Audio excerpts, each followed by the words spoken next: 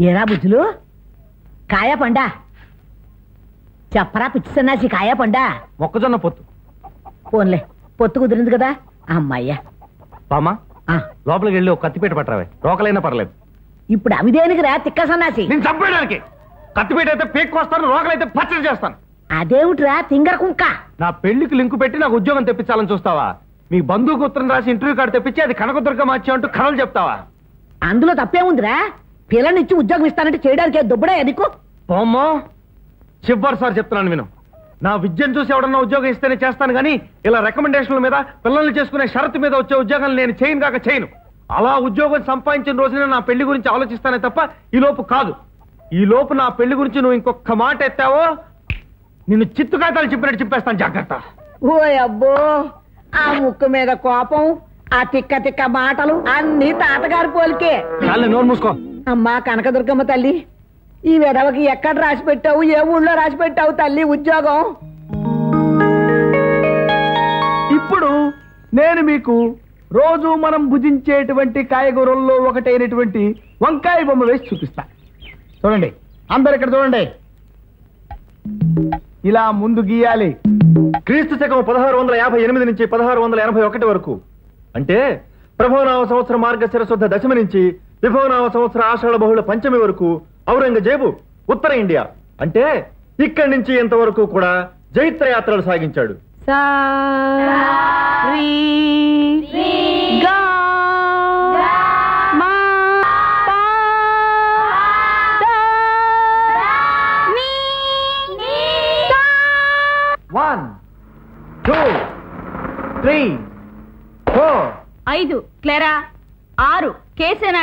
లేక ఆప్టిక నాడి. ఇక్కడి నుంచి చూడండి. ఇది క్లెరా. ఈ మధ్యలో ఉన్న భాగాన్ని రెటీనా అంటారు.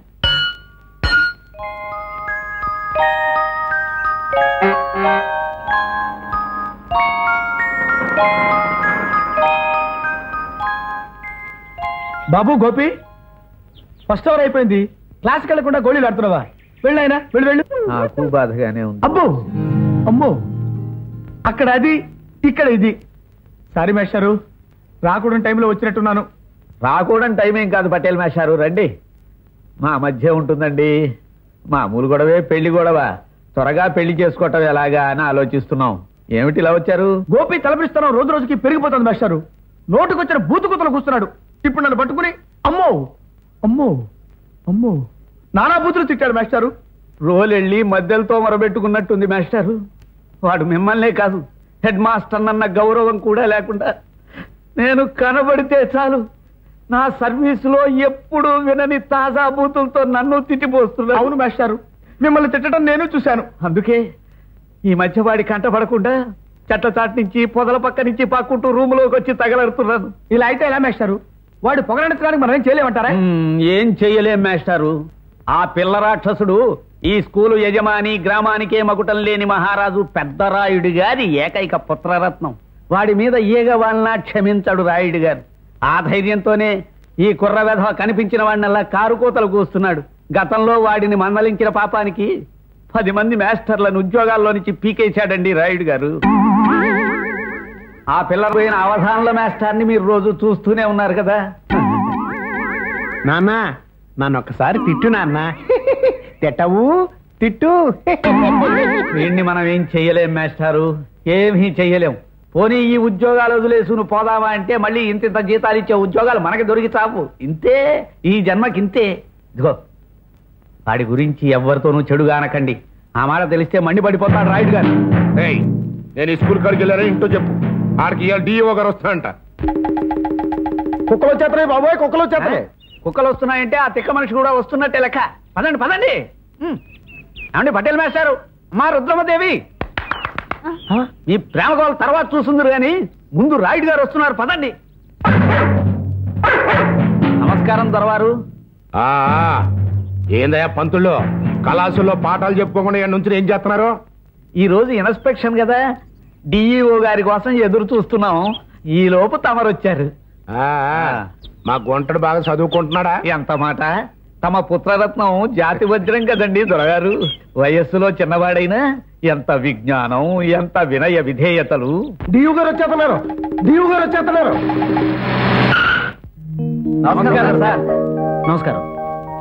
ఏంటి యువ గారు ఎట్టున్నారో? నమస్కారం రాయుడు గారు. రండి కళాశాలకి వెళ్దాం. సైలెన్స్ సైలెన్స్ డిఓ గారు వచ్చేస్తున్నారు. ఆయన రాగానే మీరంతా లేచి నమస్కారం చేయాలి. లేవండి. రే బాబు నీకు దండం పెడతాను. నా పరువు నిలబెట్టండి రా లేవండిరా. లేవండి. లేవండి. రండి సార్ కూర్చోండి. ఆ కుర్రాడు ఎవరండి? మా గుంటడు. అలాగా ఆ కళే చెప్తుందిలేండి. ఆ, కూర్చోండి కూర్చోండి. చూడండి బాబు ఇప్పుడు నేను మిమ్మల్ని కొన్ని ప్రశ్నలు వేస్తాను. జవాబులు చెప్పాలి. ఐదు ఐదు ఎంత? బాబు చెప్పు నాయన. మనిషి గుండె ఎక్కడ ఉంటుంది? తలలో. సుభాష్ చంద్రబోస్ ఎవరు? నా పాలేరు ఇంకా చాలు. ఇన్స్పెక్టర్ అయిపోయింది. వస్తా. అయ్యా దారి అటువైపు ఉంది. సారీ.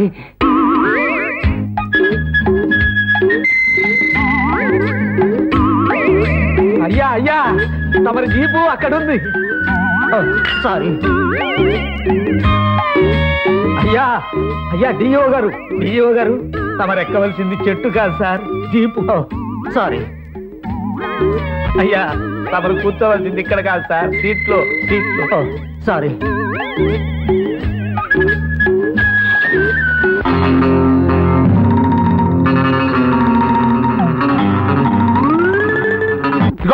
ఇప్పుడే చెప్తున్నాను అనుకోండి. వింటాను దొరగారు మీ అందరికి ఆరు నెలలు టైం ఇస్తున్నాను. ఈ లోపల నా కొడుకుని అన్ని విషయాల్లోనూ పండితుని చేయకపోయారో ఈ స్కూల్ పడగొట్టించి ఏడ రైస్ మిల్ పెడతాను అందులో మీ అందరి చేత కూలి పని చేస్తాను గుర్తుంచుకోండి. నా అమ్మో!